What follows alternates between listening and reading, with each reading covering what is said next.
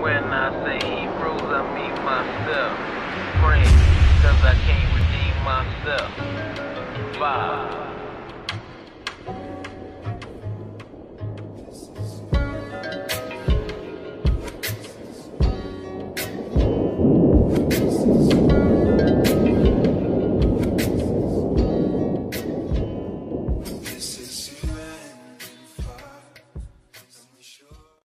Shalom, shalom, brothers and sisters. This is Elder from One Nation, One Power coming back to you one more time this evening. I uh, I just want to come on here today and just address a few passages of scriptures for you.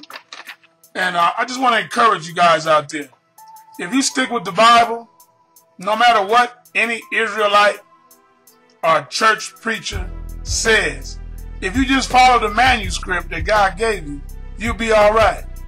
But don't allow people to take the Bible and tell you what it means when you clearly can read it and you can understand what it's saying. Are you following me? You got to read this Bible, 2 Timothy 2.15. Study to show thyself approved unto God, not man. A workman that needed not be ashamed, rightly dividing the word of truth. Let's rightly divide a few passages of scriptures because there's a lot of doctrines going on out there that just because we uh, woke up and came into the knowledge of who we are as Hebrew Israelites, that we are somehow a hate group and we're tied to hate, when it's the total opposite.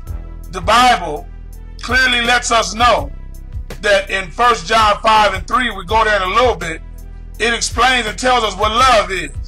And this is love, that we walk after his commandments. So when we teach in the Most High's commandments, we are actually teaching people love. Why? Because we love them so much, we're giving them the commandments of God, which in turn is keeping them out of hell. Understand that? That's what love is. Love is not me simply patting you on your back and saying, hey, I love you. No, we are eternal beings and we're going to live an eternal life. So if I love you, I care about your destination and not where you are today. Now let's also go into the Bible in Mark chapter 9 beginning at verse number uh, 38. Because there's another doctrine out there that's teaching people that hell don't exist and that where you living now is hell. I want you just to think about that for a minute. Hell is not real and where you living at right now is hell. If where I'm living at right now is hell, why, can somebody answer me? Why is Walmart down the street? Is Walmart in hell? or just maybe I want, you know, why is Arby's in hell? You see, you just use common sense. When people make those type of statements, just ask them, why is the NBA in hell? uh, can you tell me that? Why is the NFL, sports, ESPN, why are we enjoying ourselves in hell? If this is hell, why are we having so much fun? Another one I want to just add to you. This is common sense. If somebody says to me, hey, brother, you know, this is hell. Hell has enlarged itself. Hell really not in the center of the earth and hell not real. Well, I'm going to ask them this question. If hell not real, where are these demons trying to take me if they can kill me? Hello, where are these spirits trying to take me if they can get me? Are they trying to take me to McDonald's? Maybe these demons are trying to get, you know, they, they're giving us hell, trying to get us to commit suicide to go where? Where do you go if you commit suicide if hell not real? Maybe Arby's? Brothers and sisters, stop listening to these people. It sounds good, but do you have ears? Or have you followed, come out of Christianity that did nothing but itch your ears and now you found out you are Israelite or you a Gentile coming in among the Israelites and now you still got itching ears? Maybe we need to pray for your ears because the Bible clearly tells you that hell is real. Let's go into Mark chapter 9 and let's begin at verse number 38. Mark 9 and 38. Read along with me. Don't believe nothing I say. You got to see it with your own two eyes. The Bible says, And John answered him, saying, Master, we saw one casting out devils. Can I ask you a question right now, brother? Why we don't see people casting out devils today, except for us? We still trying to figure out why it, is it the disciples seeing other people casting out devils like them. I'm still looking for other Israelites to cast out devils. But when we talk like this, you know, this is uh, what they call it, spooky. Yeah, spookism. This is spookism. So let's read this again. And John answered him, saying, Master, we saw one casting out devils in thy name, and he followeth not us. We seen this brother casting out devils just like us, but he ain't following us. Mm-hmm. He not a part of our camp. He don't wear what we wear. He don't act like we act. He don't go where we go. Let's see what Christ said about that. And we forbade him because he followeth not us. We told the disciples telling Christ, we told these other guys that's not following us that they need to stop casting out devils because they're not following us. Sound familiar today? Mm-hmm. Let's keep going. Verse 39. But Jesus said, Forbid him not. Get out of his way. Leave them people alone. For there is no man which shall do a miracle in my name that can lightly speak evil of me. For he that is not against us is on our part. For he that is not against us is on our part. What Christ is saying in verse 40, let me break it down for you. He's saying for all of those Israelites that are preaching the same doctrine that I gave them word for word and not adding to it or subtracting from it, they for us. But all them other Israelites that's coming up with these other doctrines, like uh, you can take the chip at the end, uh, like hell not real, I'm sorry. They are against us. Why? They teaching things they are not. Subverting whole houses. Mm-hmm. Let's continue. Verse 41. For whosoever shall give you a cup of water to drink in my name, because you belong to Christ, verily I say unto you, he shall not lose his reward.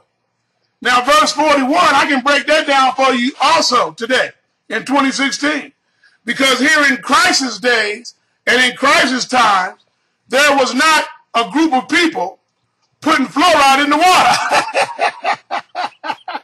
so I would advise you today, if somebody coming to give you a cup of water, to inspect that water before you drink that water. So let's keep going. And whosoever shall offend one of these little ones that believe in me, it is better for him that a millstone were hanged about his neck and he were cast into the sea. Christ says, if there come along somebody trying to subvert my teachings, trying to add to it or take away from it, in the end, it's going to be better for him if he tied a rope around his neck with a giant rock and cast himself into the sea. Can you imagine that? How much water would he drink before he died? The verse 43. And if thy right hand offend thee, cut it off. It is better for thee to enter into life maimed than having two hands to go into hell, into the fire that never shall be quenched. This is the part I want to get with. In verse 43, Christ says that if you continue to sin, you will end up, let me break it down for you just like he said having two hands, it's better that you cut one off, that you deal with your situation, than to have two hands to go into hell. Into hell. He didn't say hell is on the earth. To go into something that's going to another place, from one place to another place. To go into hell, into the fire that never shall be quenched. This is Mark chapter 9, verse 43. Christ this is the red letter writing man. This is red. Christ said, the fire shall never be quenched. Now, let's go one more verse. We're going to go down and we're going to prove that hell is real. And that this is not hell. Verse 44. Look at your Bible. Go along with me. Matthew 9 44. Now, it has been said that this is hell where we are today. I'm sitting in hell now. Look at my look at look at one part of my house. Got a nice, comfortable couch over there in hell. Got another chair over there in hell. Got my other brother from the tribe of Gad sitting here. We sitting here in hell. I don't hear no screaming and no howling. The devil is a liar. This is not hell. Verse 44. First he says in the end of 43, it's the place where the fire shall never be quenched, meaning it's never going out. And now verse 44. Where their worm dieth not. Where their worm dieth not. Where their worm dieth not. This is uh, Mark chapter 9, verse 44. Christ said, this place called hell has worms that never die. Now, uh, using common sense, I see robins every day in my yard. Running back and forth. You know them robins, them birds? They're going out there picking, they're hunting the ground, they're looking for worms. What happened to that worm when that robin pick it up and he choke his head back and he start going like that? Did that worm just die? Brothers and sisters, we see worms die every day. We step on them. We run them over after a rain. They come up after the ground is nice and saturated. Brothers and sisters, stop listening to these lies coming out of the mouth of some of these brothers talking about hell does, does not exist and that you're living in hell. You get a paycheck in hell. You get income taxes back every year in hell. This is ludicrous. Christ said it's a place where the worm dieth not. Hell is real, brothers and sisters. And a lot of us, sad to say, are going in head first. Once again, this is El Dayil telling you that we as Hebrew Israelites do not teach hate. We teach love. 1 John 5 and 3. Go there right fast. 1 John 5 and 3. So if you are new to this walk, you just come to this walk, and you're seeing some of the other brothers out there acting like I've never seen people act in my life, those are not, they're not with Christ. They're not teaching the doctrine of Christ. They teaching the doctrine of Satan, pretending like they following Christ. You need to turn them clowns off. Because it's going to be them clowns that's going to cause the roundup of all of us. 1 John chapter 5 and verse 3. For this is the love of God. This is what we're supposed to be teaching. The love of God. That we keep his commandments, and his commandments are not grievous. We teach love, brothers and sisters. Just because we find out who we are, we come into the knowledge of the truth, we still are commanded to teach the commandments of God.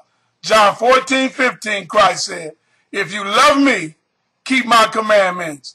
And this is love, that we keep his commandments, and his commandments are not grievous. So there go your answer. We are not a hate group. We do not affiliate with hate groups. We teach the love of God, the respect of God, and the morality of God. To the Jew first, and also to the Gentile. To the Jew first, and also to the Gentile. No matter who like it or not, we're going to follow Christ to the end, my friend. Shalom.